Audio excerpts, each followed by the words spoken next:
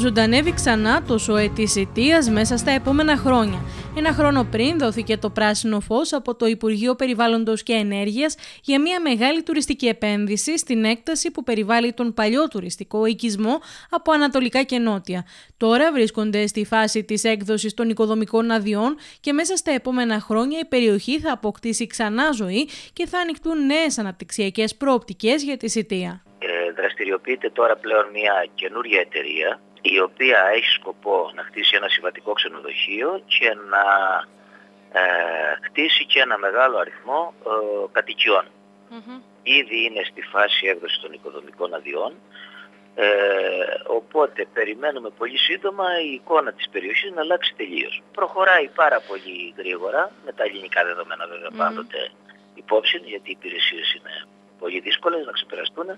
Ένα πάλι ποτέ μεγαλεπίβολο τουριστικό project όπου λειτουργούν κάποιες κατοικίες τους καλοκαιρινούς μήνες, είτε για παραθερισμό των ίδιων των ιδιοκτητών, είτε για τουρίστες που τις ενοικιάζουν.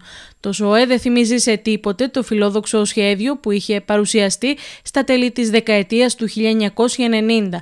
Ο οικισμός βρίσκεται σε δικαστικές περιπέτειες, καθώς οι ιδιοκτήτες είναι πολλοί, έχουν χωριστεί σε στρατόπεδα και επιχειρούν να λύσουν τις διαφορές τους στα δικαστήρια.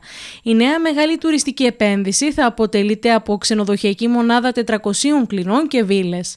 Με τον οικισμό ΣΟΕ έχουμε ένα παράξενο ιδιαίτερο καθεστώς διότι ο αριθμός των ιδιοκτητών είναι μεγάλος και υπάρχει μία θα λέγαμε διαφορετική προσέγγιση στον τρόπο ανάπτυξης του οικισμού από τις ε, ομάδες ε, των ιδιοκτητών που είναι στο χώρο. Η εικόνα του οικισμού συνολικά είναι τα τελευταία χρόνια ε, αρκετά Απλά δεν χρησιμοποιούνται όλες οι υποδομές τις οποίες μπορεί να χρησιμοποιήσει ο οικισμός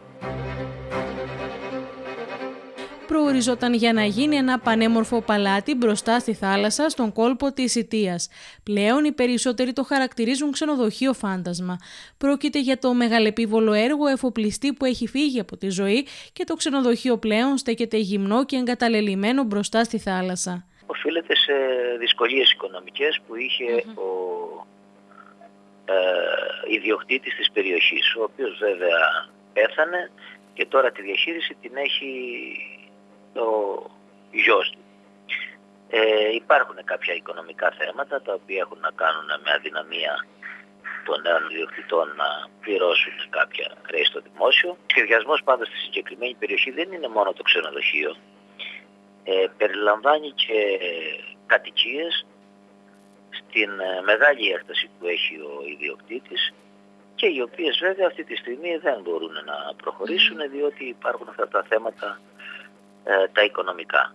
Ε, το τι μεγιστένεστε μόνο ο ιδιοκτήτης ξέρει. Η κατασκευή του ξενοδοχείου ξεκίνησε τη δεκαετία του 90 και στόχος ήταν να δημιουργηθεί ένα πραγματικό στολίδι στη Σιτία.